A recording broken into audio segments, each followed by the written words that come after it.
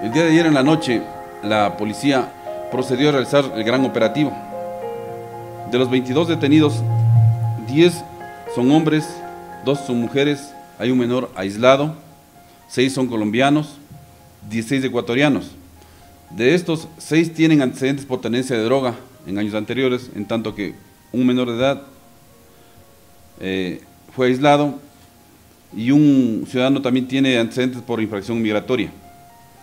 Dentro de la gran estructura podemos decir que estaba compuesta por dos cabecillas, cuatro abastecedores, cuatro distribuidores, dos acopiadores y diez expendedores. La capacidad eh, de esta organización para distribuir la droga en el mercado nacional estaba entre 15 mil y 20 mil dosis semanales en la ciudad de Quito en los diferentes colegios.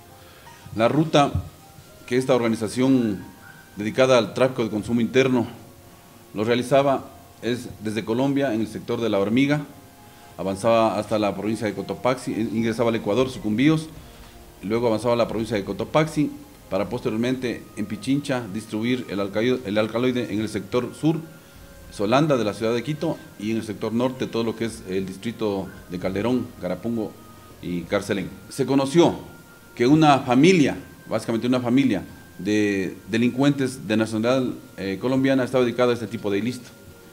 Esta familia tenía su, lugar de destino, de ubicación, perdón, es en Carapungo, en Carapungo. La droga traía, traída desde el oriente, llegaba hasta Carapungo y lo um, acopiaban en una bodega, así como también en una, en una casa en La Tacunga. Es importante resaltar el trabajo realizado por, las, por la Policía Nacional con sus diferentes unidades, y en este caso con la Unidad contra el Tráfico para el Consumo Interno de Drogas, ya que desde hace seis meses, luego de un arduo proceso de investigación, de operaciones de inteligencia en coordinación con la Fiscalía, hemos logrado desarticular esta gran red, esta gran estructura criminal del microtráfico que tanto daño hace a la ciudadanía. Ministerio del Interior.